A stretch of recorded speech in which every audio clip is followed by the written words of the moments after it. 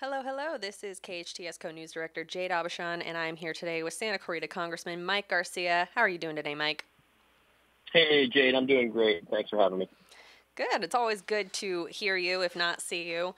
So let's jump right into it. Today's going to be kind of a short interview. You're going to give some insight into the ongoing supply chain crisis, which is most visible via the backlog at the Port of Los Angeles right here. What's going on? Yeah, so this has been a problem actually that's been in development for quite some time. Obviously, a lot of this is uh, induced by COVID and some of the restrictions put on travel and shipping, uh, international shipping primarily. Most of this is coming from China. Uh, but what I don't think most Americans realize is that about 40% of all shipped goods into the United States actually comes through Los Angeles and Long Beach uh, harbors. Uh, so we, we are actually probably the most critical node in the supply chain uh, nationwide. Uh, and this is going to start getting aggravated, obviously, with the holidays coming up. But we've got a backlog of goods just floating off the coast right now, Los Angeles and Long Beach, in the form of dozens of ships. Uh, this is this is being aggravated by the fact that our state has, has not only been slow to open, uh, but it's also uh, a byproduct of a bill called AB 5 that at the state level was passed a few years ago.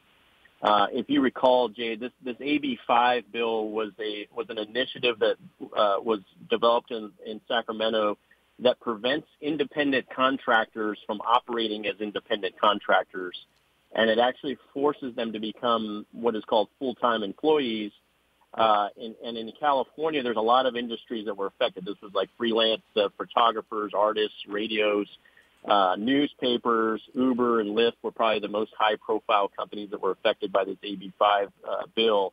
Uh, and it turns out that the truckers and a lot of the shipping uh, companies that are associated with uh, the harbors in our area are also getting hammered by AB5. And so what we've seen is actually a lot of uh, trucking companies leave the state. A lot of independent contractors leave for other states because they want to continue to operate as independent contractors.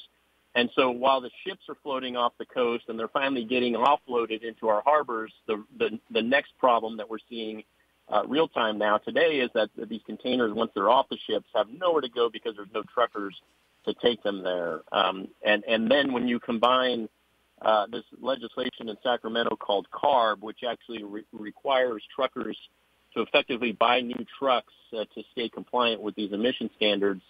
Uh, you have right now just a complete lack of uh, truckers available to move this hardware. So uh, this is a bit of a, a perfect storm and, and a byproduct of the unintended consequences of, of state legislation being, you know, now coupled up with federal regulations and, and COVID uh, that is that is it's absolutely going to devastate the supply chains uh, as we as we head into uh, December here. So you're seeing nothing on the shelves in your local stores. You're seeing uh, back order of pretty much anything that we order online.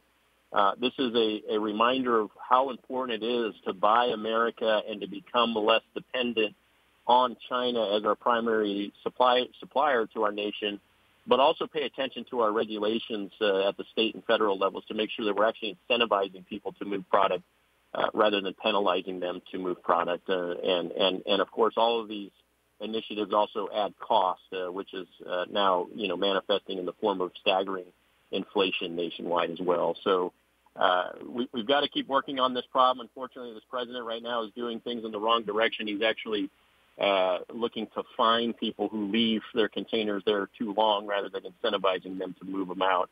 Uh, and uh, unfortunately, this problem's going to actually get worse in the next several weeks before it gets better, in my opinion, and, and we're going to have to keep an eye on it. But uh, uh, we're doing everything we can at the federal level to try to incentivize businesses to reopen, uh, to lower the, the, the mandates here and get people back to work and actually uh, start moving product nationwide. But uh, we do need to pay attention and look at what we're buying and, and where it's coming from.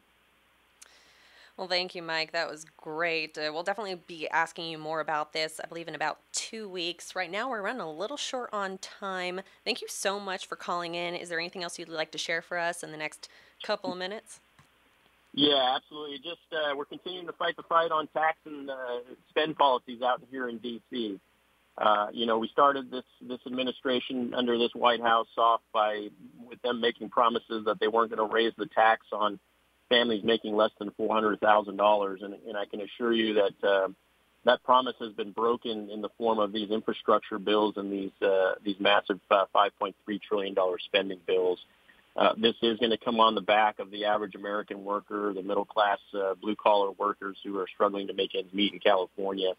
Uh, and uh, that's the fight we're fighting uh, real time this week and next. So uh, looking forward to uh, uh, of towing the line and making sure that we're fighting against these uh, tax increases and hopefully keeping as much money in our pockets so that we can stay in California and hopefully not let California's policies creep to the national level. So thanks again, Jade, for having me, and uh, looking forward to the next time.